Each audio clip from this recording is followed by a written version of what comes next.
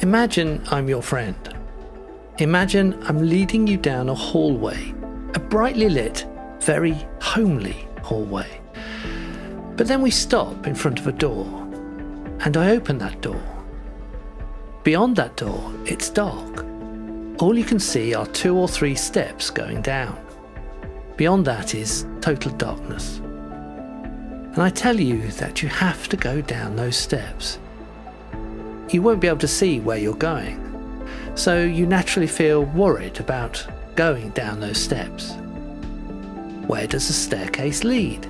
What's on the other side? You might ask me.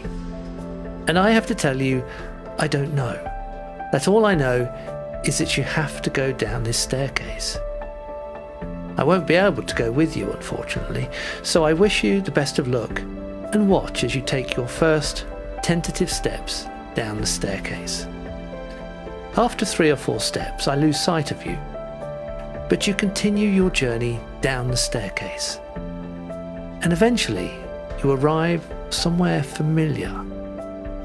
I can't say what that place looks like. I can't even speculate.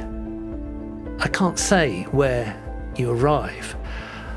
I couldn't promise you gardens of splendour. I couldn't tell you that rolling hills would appear that are lit by a sun that never sets.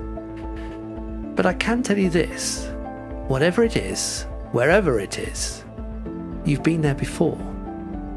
It is not the unknown. There was a time before you were born when you were in this place, whatever it is, wherever it is, even if it's not much. So it's not the unknown, it's known to you, somewhere, somehow.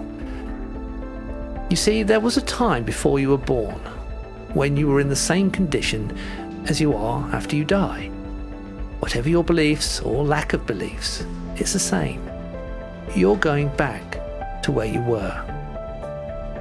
Somebody once said that he'd spent billions of years not being alive, so he was really good at not being alive.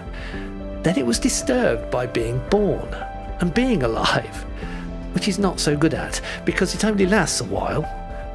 After which, he'll return to what he was really good at not being alive. It's a joke, but there's an element of truth in it. This fear we have of what follows life is a fear of the unknown. And that's probably the greatest fear a person can have. But what happens after this life isn't really the unknown at all. You've been there before, and whatever it is, one thing's for sure you had no cares, no worries. That much we really do know. Rest easy.